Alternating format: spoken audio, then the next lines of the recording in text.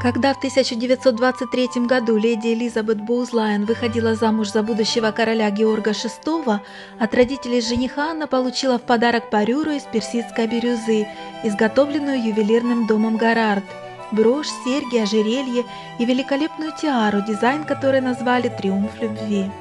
Елизавета нечасто появлялась в бирюзе и в 1951 году подарила гарнитур своей дочери, принцессе Маргарет, на ее 21 день рождения. Маргарет полюбила эти украшения и носила набор полностью или частями на важных мероприятиях в течение многих лет. После смерти принцессы Маргарет предполагается, что парюра перешла по наследству ее сыну, графу Сноудону, но другие считают, что, как и тиара с цветами лотоса, она вернулась в королевскую сокровищницу.